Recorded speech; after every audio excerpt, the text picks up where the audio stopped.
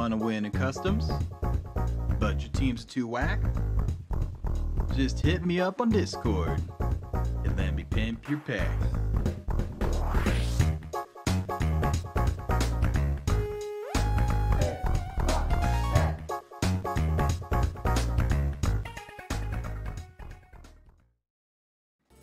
Hello and welcome back to Pimp My Pack, a series where I take your custom packs and pimp them out.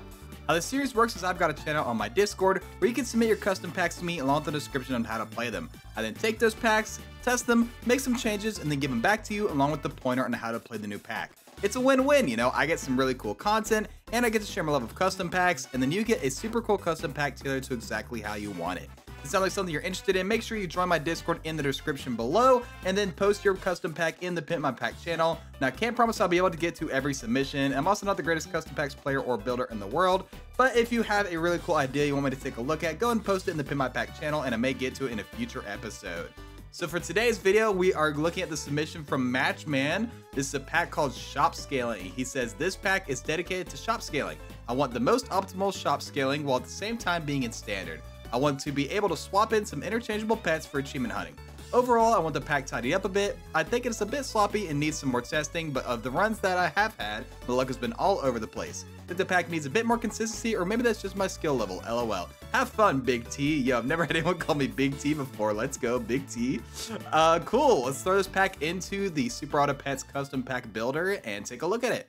Alright, so here is Matchman shop scaling pack, and overall it looks pretty decent. I mean, you got the obvious shop scalers with chicken and lioness, and they've got lots of ways to try and like uh, get those like crazy. I mean, lioness didn't have to make combos with it, just more lioness, but I mean, chicken being a faint pet means you can use it with, you know, whale, you got mushroom, you know, you got Anubis with it.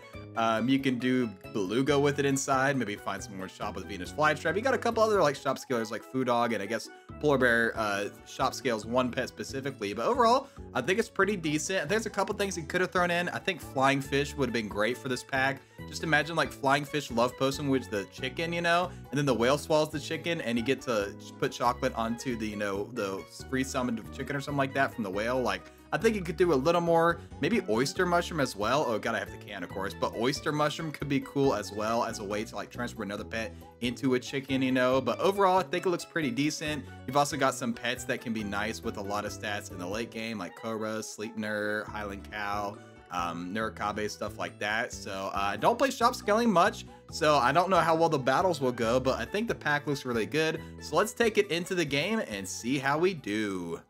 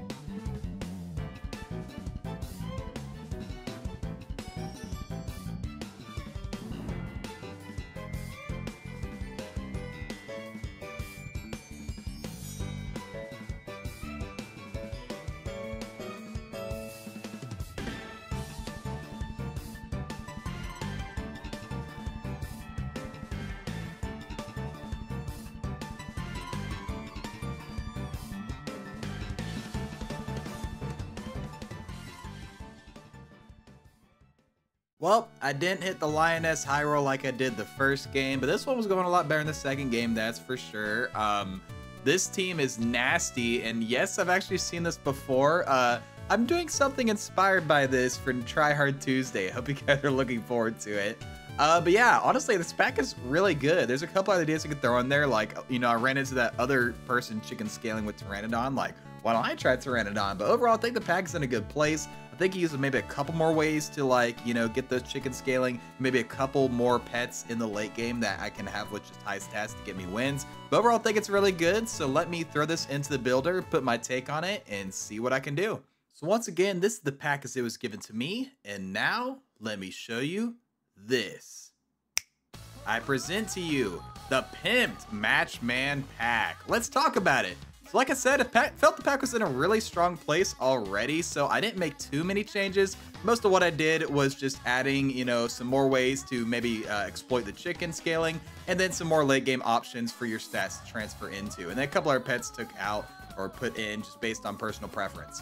So early game, I had to put in Flying Fish Love Potion, one because it's so strong. I mean, you can get it with, put out your Betta Fish, Anteater, Weasel, um, anything like that. Lucky Cat with it, like, can be crazy strong. Deer, um, also have deer in case you can't hit a chicken early enough. You know, maybe you can start leveling up a whale and use the deer to get you keep you getting wins while you're waiting for a chicken. You know. Um, and then in the late game, you know, I kept the Cobra, Highland Cow, Sleipnir. Also had a Gorilla and Hydra because those are both pets that are really good when they're at 50-50. The stats can be really nice for those.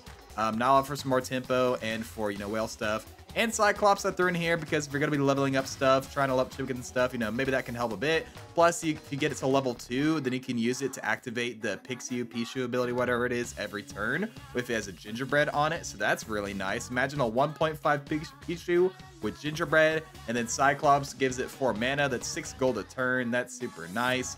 Uh, but yeah, overall, I think this pack was really good. Was there any other changes?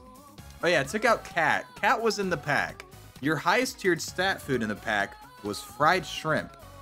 I guess you're just relying on cornucopia, or maybe it was in there for the achievement. I don't really know, so I took it out, replaced it with something else. I don't remember what it was, but yeah. Uh, overall, I think this pack is in a nice spot now. It was already in a good spot. Hopefully this helps you get it over the line. So let's take it into the arena and test it out.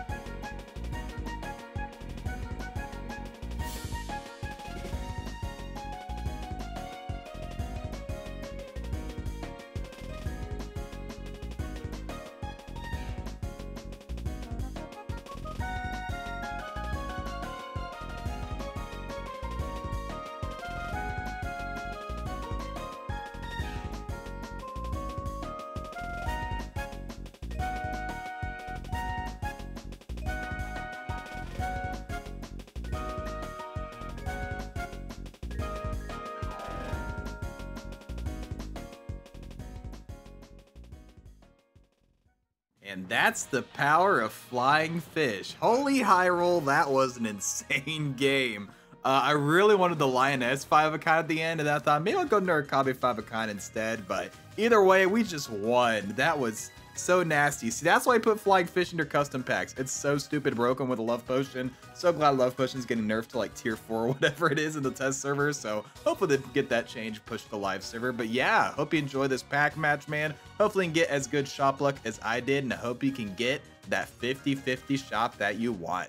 But yeah, if you guys enjoyed this, please make sure to like, comment, subscribe, do the generic stuff. I'll have the pack code in the description if anyone else wants to try this pack. And if you have a pack here of your own you want me to test, make sure you join my Discord link below.